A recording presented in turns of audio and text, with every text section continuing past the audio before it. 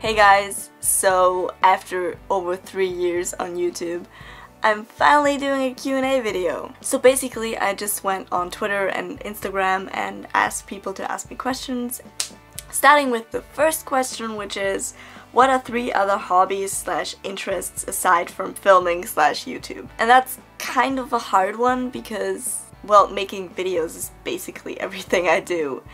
And I mean, it's not that I don't do other stuff, it's just that that stuff is all kind of connected to making videos because I love going to museums, but I take my camera with me and I film everything and I love going hiking and, and geocaching and stuff like that. And I take my camera with me and I film everything.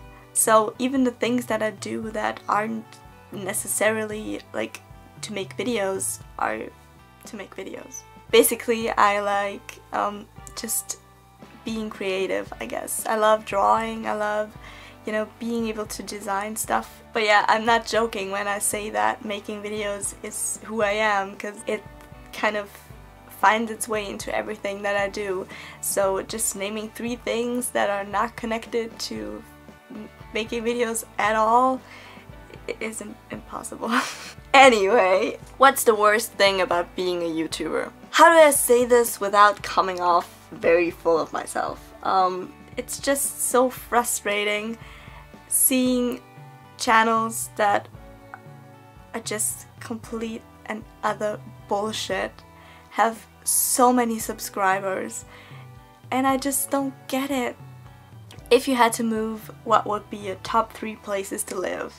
I love Austria, but in my brain, when I think of the future, I don't think of it here and that's because I want to work in film and the film industry in Austria just isn't that big and so I in, in my brain I know I'm gonna have to leave if I want to do that, if I want to pursue that. So um, my number one place to go would be the US because that's where, you know, film lives, I guess. Um, but, um, you know, there's also the UK, Canada, and I'm gonna say a fourth one even though I should only say three uh, because I'm gonna have to throw Australia in there because you know basically I want to live in a country where I can speak English. What is your best and worst memory ever? Worst memory is easy.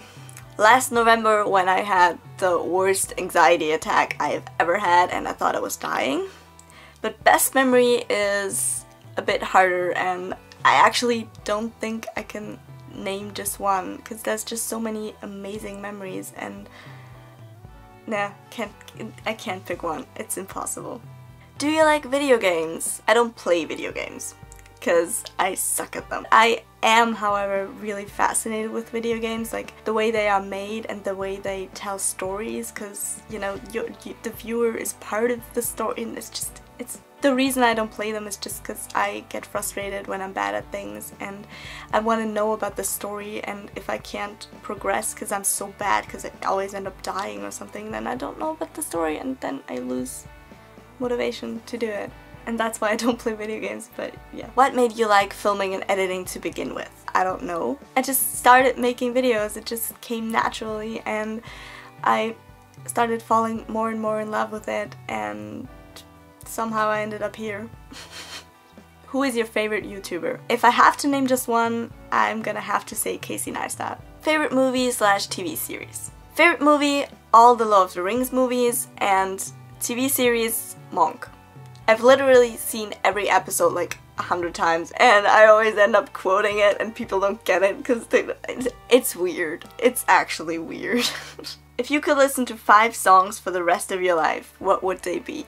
Now this is a hard question because I listen to over 3,000 songs and I love them all. But um, okay, let's let's do this. Okay, number one is easy. Number one is Sunday Smile by Jake Troth, which is my all-time favorite song, so that's obvious. But um, Forget and Not Slow Down by Relient K, Dare You to Move by Switchfoot, Clean by Taylor Swift, and the last one's kind of uh, God damn it. Um, I'm just gonna go with Not I by I Fight Dragons because I love that song and just the first one I thought of right now. But there's probably like 3,000 other songs that should be on that list. What's your favorite breed of dog? Now, most of you know this, but I am the biggest cat person ever.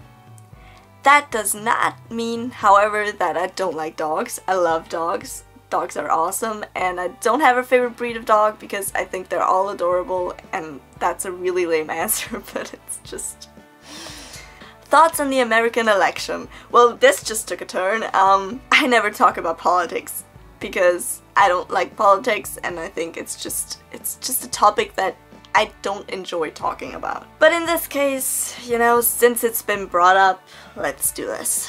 When I first heard about Trump being a presidential candidate, I thought it was a joke. Like, I literally thought it was some kind of social experiment kind of thing where they want to prove that literally any idiot can be a candidate to become president if they have enough money or something. I don't I don't even know. If you're from the US, please go vote so that idiot doesn't become president because I don't want to live in a world where someone like that can convince people that he can be president of the United States and also I don't think that someone like that should be in charge of a country and especially not one as powerful as the United States so please go vote to make sure that that doesn't happen. Hardest geocache to find. I'm what you'd call a part-time geocacher so there's probably a lot more harder geocaches all around.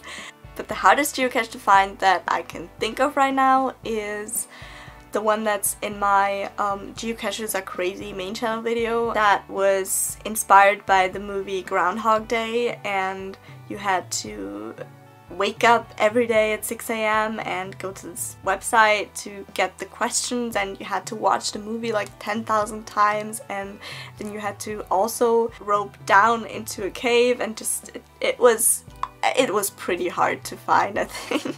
Any creepy geocache stories? Now, I've never found a skull or other human body part when I was geocaching, if that's what you're implying, but um, this is not technically my story, it's my parents' story because they're like full-on crazy geocachers. When they were out geocaching in a forest one day, they came across a group of people wearing tinfoil hats talking about like signals or waves or shit like that. so that's pretty creepy. How do you decide what to shoot for your videos?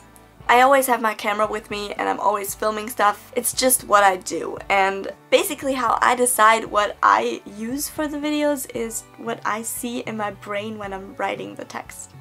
I always have these pictures that go along with what I'm writing and either I have something that fits that or I make something that fits that. Would you rather live without internet for 10 years or drink water instead of coffee for the rest of your life?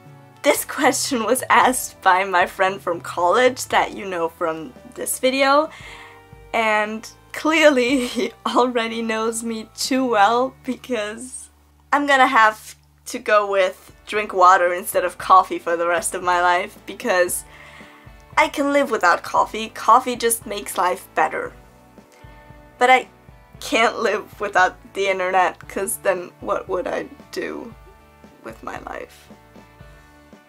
If you'd get the chance from like a magical free wish or something to get a skill slash talent, what would it be? This one's easy.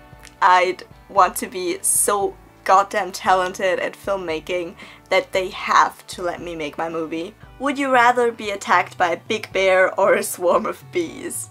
You know what? I'd rather be attacked by a bear because I've seen a whole lot of bees out in the wild, but I've never seen a bear in the wild.